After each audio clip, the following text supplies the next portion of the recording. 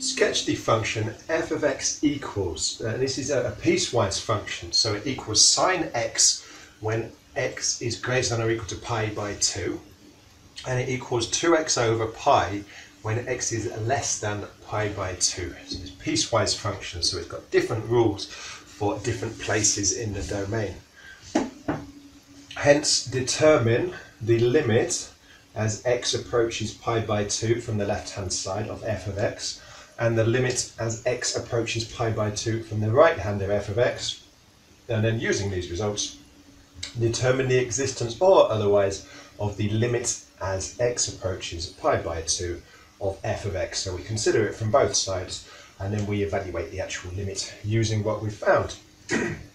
Right so piecewise function your calculator that the effective way to do it is to just put different functions in. So if we'll have a, we've got two areas here. We're going to have a y1 and a y2.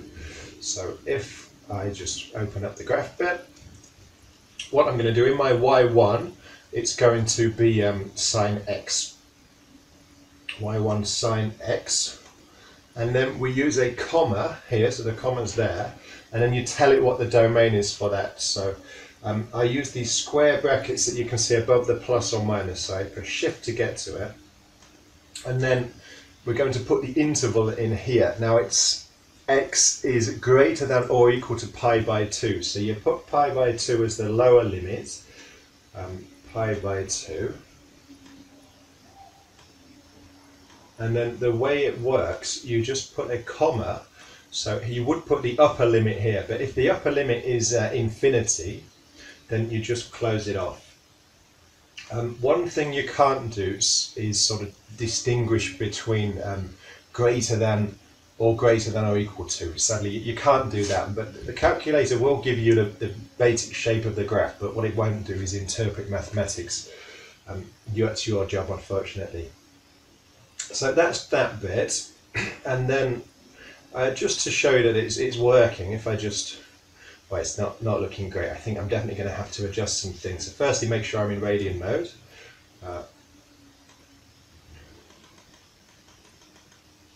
angle, yes, we're in radian mode. so then we need to radically adjust the view window. View window, so my X max is probably a bit big, but really it's Y that's the issue.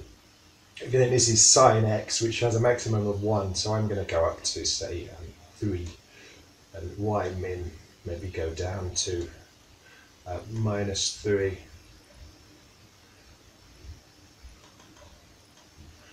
Minus 3, something like that. And if we have a look at that, I might, I'll probably rein in the uh, X max as well. Don't need to, I'm only need, really interested in pi by 2, which is about 1.5. So let's just go up to say 3 again. Something like that, or maybe a bit more. We'll do another cycle. We'll go up to 6. Okay, so now if we have a look, you can see we've got what looks like a sine wave and it's it cuts off, so this isn't included in its domain, so it looks like it's working. So now if we just go back, and then I'm going to use y2 to define the second bit, which is 2x over pi. Sorry, 2, yeah, 2x over pi. 2x over pi and again the comma. And we're going to have a uh, lower limit. Well there is no lower limit. It's minus infinity. So we put nothing and then a comma. And the upper limit is pi by 2 pi by 2 okay. Uh, close that bracket off. And then if we go to plot the thing go back to the drawer and now you can see you've got these two, this two lines. So you've got this uh, linear function here. So this is y equals 2x over pi. Uh, so it's a straight line going through 0, 0 with a gradient of 2 over pi. And then you've got uh, sine x from there onwards. So where they meet must be at pi by 2. So what we can do, we can zero in on that. So if we go to trace and just put in pi by 2. So um, pi over 2. And it tells us that the y value is 1, right? So at x is pi by 2, function is 1, so that really sine, sine pi by 2 is 1. Remember, pi by 2 is 90, sine 90 is 1. Then if we just look either side, we can start to think about these limits. But before I do that, I'll actually do the sketch. So you have axis like that. We, if we go up to 1 now, 1, and then uh, this can be pi by 2, so over here-ish. So I'm looking that bit there. That's the point that where the sine wave starts.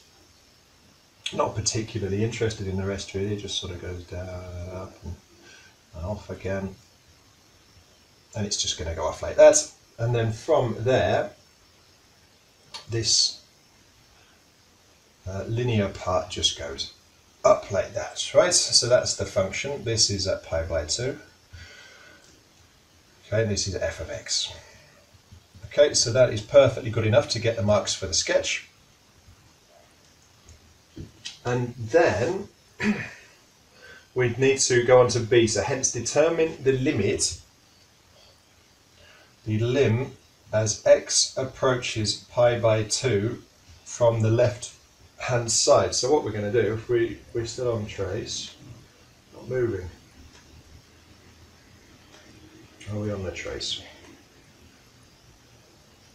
I think it's because we've got two lines, so it doesn't know what we're tracing. So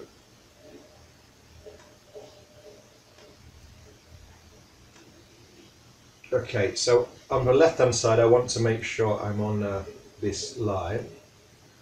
That one there, and now now it'll let me trace, okay. Yeah, do be careful. So we defined a piecewise function. What we actually did, we defined two separate functions. So when you ask to trace, it does actually make you specify which line you want to trace. So do, don't fall into the trap I just did. So you look at this, and you can see as we're getting closer and closer to pi by 2, which is 1.57ish, you can see that we, we're getting towards 1. We could zoom in and do it differently, but you can see it's approaching 1 equals 1. And then if we go from the other side, so the lim as x approaches pi by 2 from the right hand side, we'll go back to trace, second trace, and then I need to tell it I'm on the blue line. Think I can do that with the up arrows. Yes. And then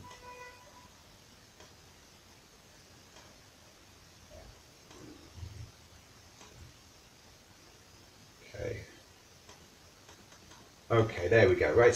So if we approach pi by 2 from this side, again, you can see the y values are getting closer to 1. Closer to 1. Closer to 1. I want to see the other side there. Okay, also equals 1. So really, putting all that together, we should be able to see for part C.